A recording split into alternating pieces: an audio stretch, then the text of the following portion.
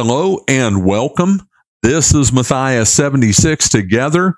We are decoding the deception and we are here continuing with the narrative in the Gospel of John about the resurrection of our Lord Jesus Christ. And last time we covered the resurrection itself with them finding the empty tomb. And the way that section ends, we'll just read the last couple verses. Then the other disciple, and that's John, who had reached the tomb first, also went in, and he saw and believed.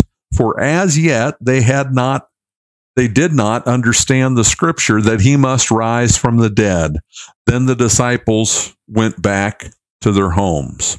So the disciples, Peter and John, they leave they go back home. And the text, the narrative continues. But Mary stood weeping outside the tomb, and as she wept, she stooped to look into the tomb, and she saw two angels in white sitting where the body of Jesus had lain, one at the head and one at the feet. They said to her, Woman, why are you weeping? She said to them, They have taken away my Lord, and I do not know where they have laid him. Having said this, she turned around and saw Jesus standing, but she did not know that it was Jesus. Jesus said to her, Woman, why are you weeping? Whom are you seeking? Supposing him to be the gardener, she said to him, Sir, if you have carried him away, tell me where you have laid him, and I will take him away. Jesus said to her, Mary. And she said to him in Aramaic, Rabboni, which means teacher.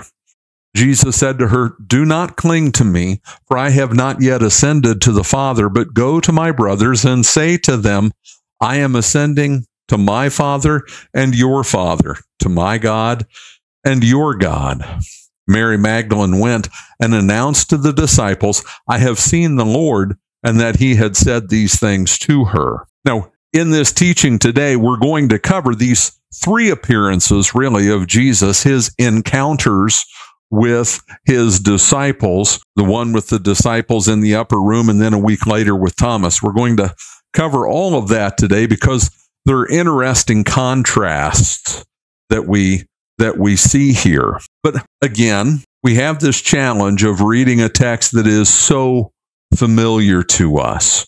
And we need to trick our minds, do a little bit of, of creative thinking, and pretend that this is not familiar to us, that we're reading it for the first time. And when we do that, one of the things that stands out, the disciples left. Peter, John, they left. Who stayed? Mary Magdalene stayed. That's interesting because Mary Magdalene, and the text makes this clear, she was seeking Jesus. Now, she didn't understand what had really transpired. None of them really did. It does say that Peter and John believed, but they did not yet understand. So we've got that going on. But Mary stays there. And, and what is her express purpose for staying there? She thinks Jesus' body has been taken away, either in desecration of his tomb by the opposition, possibly because he'd been buried in someone else's tomb. It was the tomb of Joseph of Arimathea in which he had been lain. So all these possibilities are going through her mind. All she knows is he's not there. And it's Mary, and I think this is key. It's Mary who stays. It's Mary who is seeking Jesus, perhaps in a not fully informed way, but still, she's seeking Jesus, and it is Mary to whom the angels appear. So she went in and saw two angels in white sitting where the body of Jesus had lain, one at the head and one at the feet. And they said to her, Woman, why are you weeping? Here we have this disconnect between the perspective of the heavenly host, the angels, understanding exactly what is going on, This is something to be celebrated. This is the angels in heaven are singing God's victory song over sin, death, hell, and Satan. And this woman is weeping. And so their perspective is, why are you weeping? You, you, have got the wrong attitude on this. Now, she had the wrong attitude because she didn't understand, but still, the disconnect between the victory that had taken place, the celebration that was going on, and the human response to that. The angels are baffled. It's not just a question, it's not just a throwaway line. They want to know why she is weeping. And she said to them, They have taken away my Lord, and I do not know where they have laid him. And, and we hear her suffering, her sorrow. She'd already lost her Lord, crucified, and now to her mind, apparently, the tomb has been desecrated, his body's been taken out and just thrown somewhere for all she knows. And we all know that when you're in a bad spot, when you're struggling, when there is a great emotional burden on you, your mind doesn't go to the best outcome. Your mind goes to the worst outcome. But having said this, she turns around and Jesus is standing there. But she did not know that it was Jesus. Why? She wasn't expecting Jesus. She may well have not even looked him in the face because Jesus was dead. And, and she hasn't caught on to all of this yet. She thinks he's the gardener, but she didn't know that it was Jesus. And Jesus said to her, Woman, why are you weeping? Same question as the angels. There is no place for weeping. And, and, and I think we might even say this in a broader context. On this side of the resurrection, that moment in history, that watershed event of all history, there is no place for weeping, true weeping, that weeping that comes from loss. We weep, but we don't weep and mourn as those who have no hope, as Paul tells the Thessalonians many years later. But, woman, why are you weeping? Whom are you seeking? Again, that concept, that idea, that thought that Mary is seeking Jesus. The other disciples have to wait 12 or more hours until they get to see Jesus. They're in the upper room. Mary gets to see him first because Mary is seeking Jesus. And, and there's an important message to us in that. The most important thing we can do is to seek Jesus, to pursue him. And that means not like he's out somewhere and we're looking for him, but to seek to draw closer to him, to to seek to know him better, his will better, his plan more fully. And we do that by being in the word. That's why we're here doing what we're doing at decoding the deception, teaching the word of God, putting it out there for people to hear. But it's also something that we do individually in our own time in the word that the Lord can bring us closer to Him, have a greater understanding of Him. And our prayer life as well is an important part of that, but it is a personal seeking of our Savior.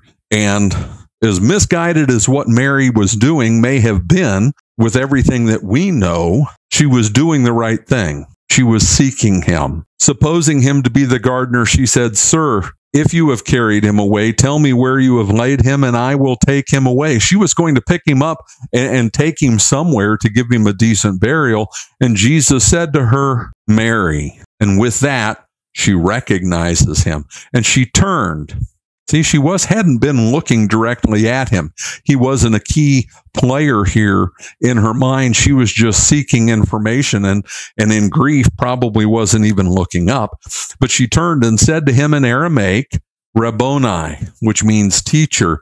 And and I don't frankly I just don't get this. It's it's teacher, but it's my teacher, Rabboni, and, and people then would have known it anyway. But Rabboni, the I on the end of that term from which we get rabbi, Rabboni means my teacher, my teacher. It's a, a personal connection. It's not just acknowledging that someone is a teacher, but acknowledging that they're your teacher. And Jesus said to her, Do not cling to me. So apparently, she had embraced him. Do not cling to me, for I have not yet ascended to the Father, but go to my brothers and say to them, I am ascending to my Father and your Father, to my God and your God. So, what's this about? Don't cling to me. What, what's the point?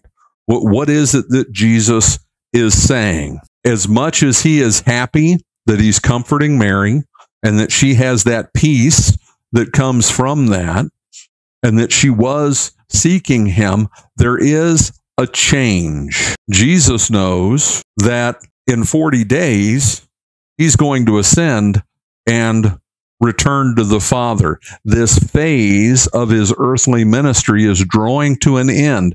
And in this very important and tender moment, he's reminding Mary of that. He's teaching Mary that. This part of the plan of salvation is over. I'm here to bear witness to the resurrection that everybody can see it in seeing me.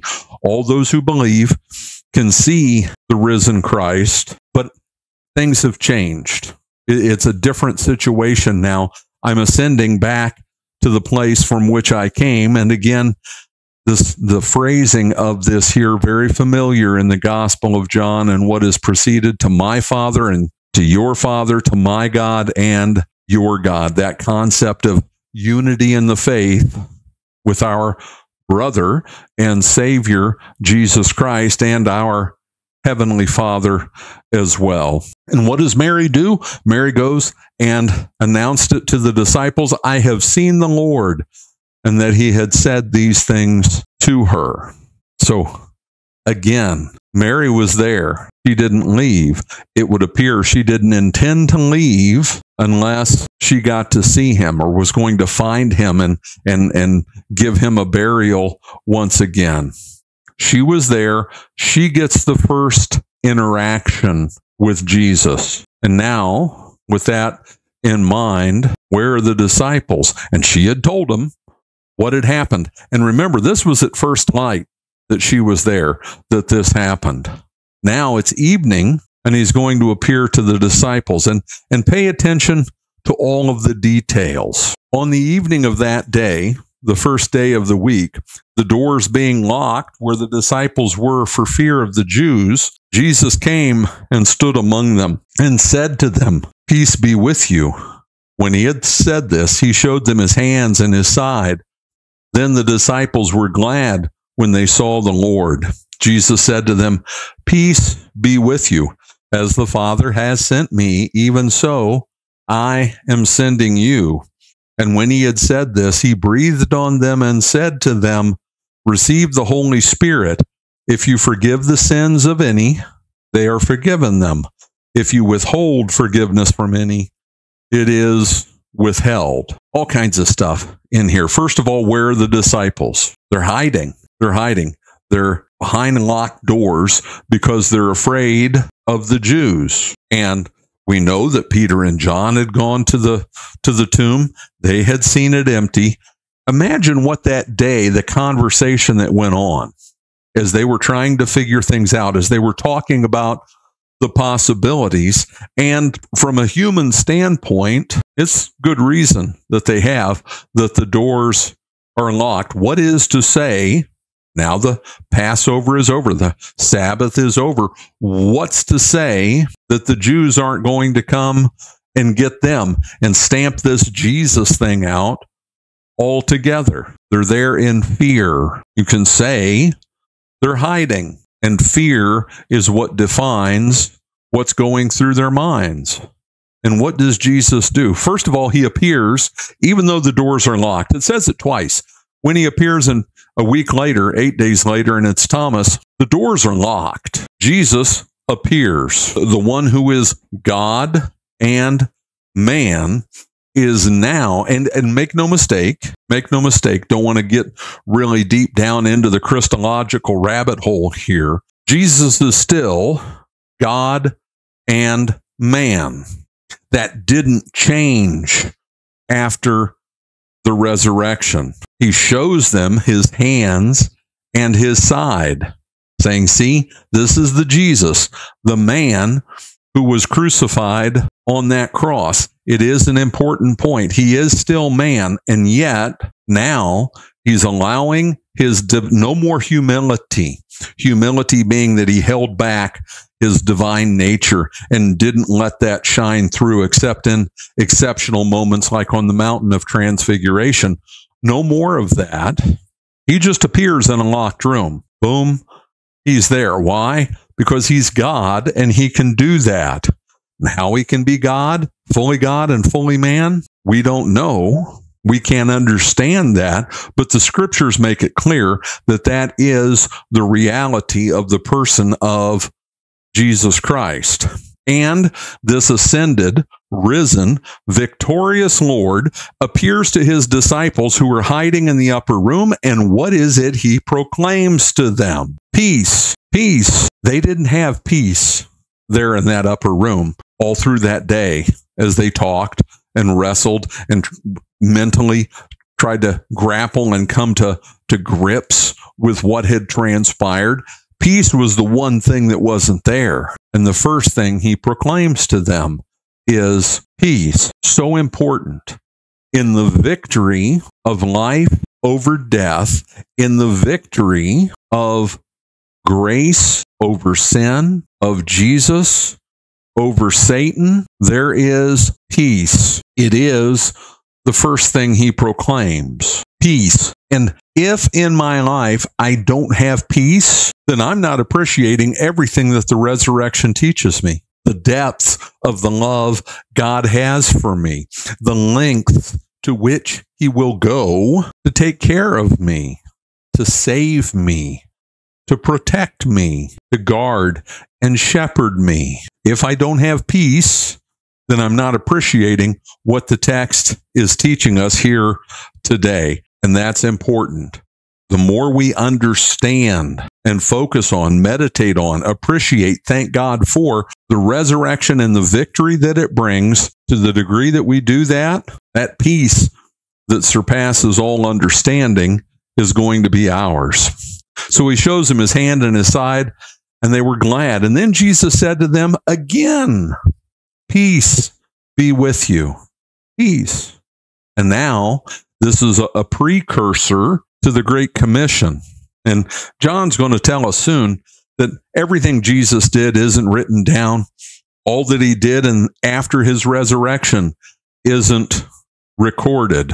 But this theme of peace, and then in that peace, he sends them out. As Guy said, this is the precursor to the Great Commission go and make disciples. Peace be with you. As the Father has sent me, even so I am sending you. We are his body. We, the church, is his body. He dwells in us. Christ in us, the hope of glory.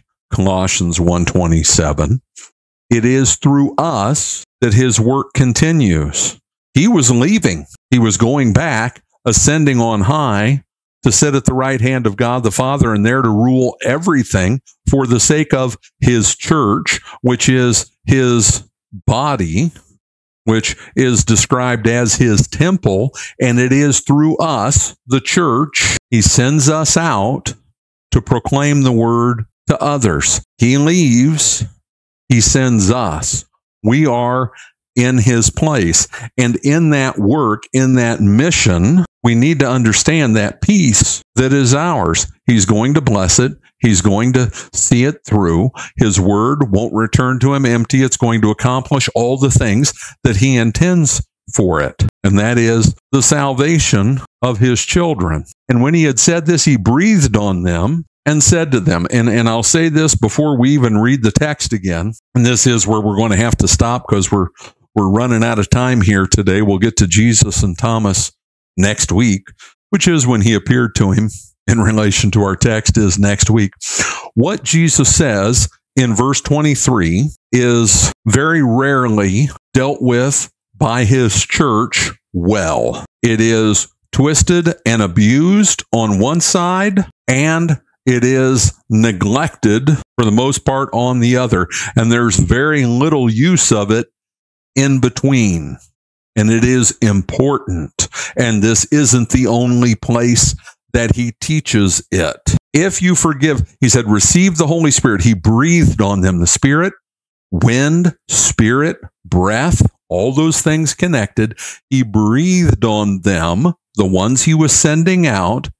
And he said to them, receive the Holy Spirit. They're going to get the full manifestation in 50 days on the day of Pentecost, 10 days after his ascension.